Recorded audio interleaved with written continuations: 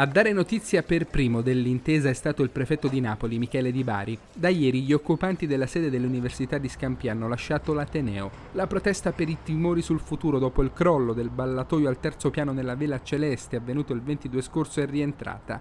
La liberazione del plesso con contestuale sostegno agli abitanti è stata ritenuta prioritaria da tutte le istituzioni. Il Comune di Napoli si è attivato per le necessarie iniziative di carattere organizzativo e il sostegno immediato ai nuclei familiari colpiti, stanziando un fondo dalla immediata disponibilità per favorire temporanee ma autonome sistemazioni.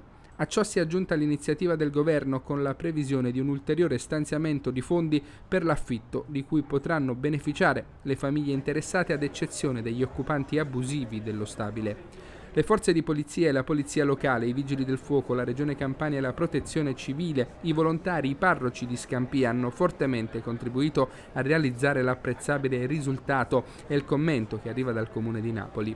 È stata fondamentale la condivisione del percorso realizzato con i comitati, gli abitanti e i rappresentanti del territorio, ha spiegato il sindaco Gaetano Manfredi.